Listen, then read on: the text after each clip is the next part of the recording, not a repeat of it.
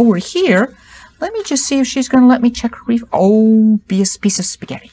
Relax. There you are.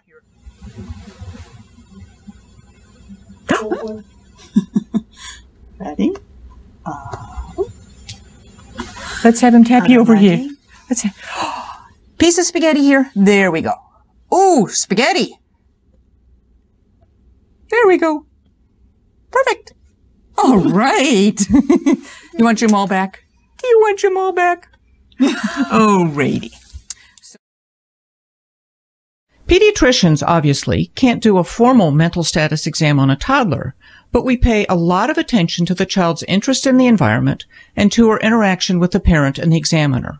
These observations of the child's alertness, curiosity, and responsiveness figure prominently in the various toxicity scores used by pediatricians to gauge how sick a child might be. Watch Eliana's exploration of the stethoscope and her give and take with her mother and me. Let's turn to the cranial nerves. We get a good sense of the function of cranial nerves 2, 3, 4, and 6 by noting how the child tracks what's going on visually.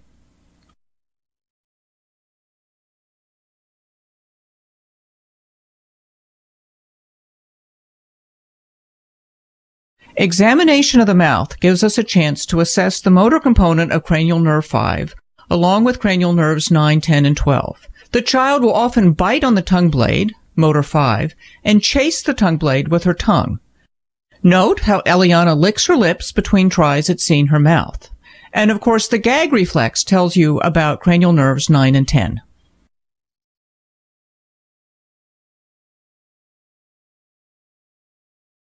During the exam, we have lots of opportunities to assess for facial symmetry and the function of the facial muscles, all innervated by cranial nerve 7.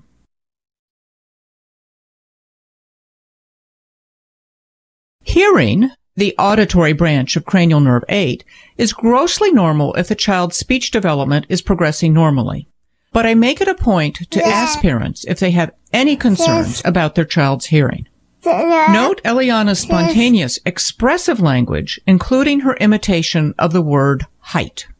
Hi. Hi. Hi. Note her receptive language here, as she shows us that she understood my question to her. Where should I put it? Right there? Okay, I'll put it right there. Mm.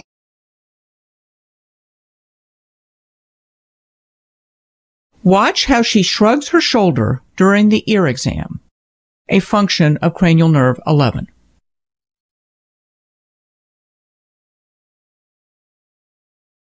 We've done cranial nerves. How about general motor function? Motor skills change rapidly in the first two to three years of life, so we look at whether the child is acquiring new skills on schedule. You will also learn to pay close attention to the symmetry and the quality of the child's movements. Achieving motor milestones requires losing the primitive reflexes we demonstrated with the newborn, having normal strength, and having maturation of cerebellar function. Look at the following samples of Eliana's use of her hands. Look now at her ability to move her entire body towards a desired object. And finally, look at her ability to walk.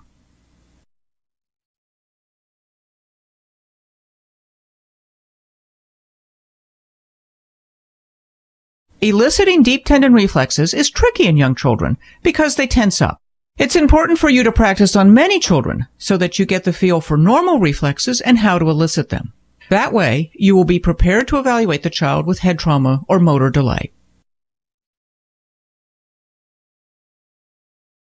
Lastly, how do you assess sensation in a young child? Well, watch how Eliana looks to the spot where I am touching her, even though she did not see my hand move there. In a newborn who can't track visually or have purposeful reach, your sensory assessment needs to be a little less subtle. If you have a newborn with a possible spinal cord lesion, for instance, you need to be sure that painful sensation reaches the brain. You need to see a grimace or a cry, not just withdrawal of the limb. Withdrawal is a spinal reflex. Tell the parent what you are doing first. I think you can see that we have actually learned a great deal about the neurologic status of this child. It's important to take a moment at the end of your exam and consciously review in your own mind each of the elements of the neurologic exam. Is there anything else you need to re-examine?